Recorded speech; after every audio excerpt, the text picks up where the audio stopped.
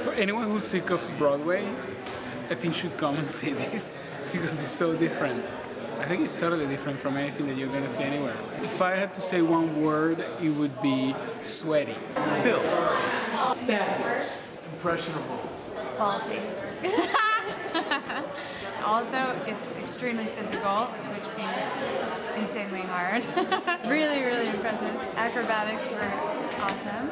And there's a lot of tension. It was so raw and visceral.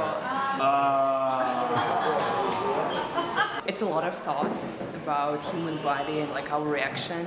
I was sitting and like looking at the audience uh, on another side uh, and seeing like people kind of crossing their arms, and I think it's kind of an interesting reaction. There's no fourth wall. Like they they break all types of barriers, and they just you are part of the show.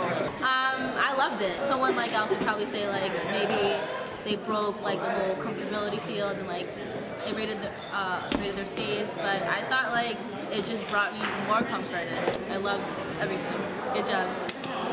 Just go see it. Yeah. Don't don't read the brochure. Yeah. Just go see it.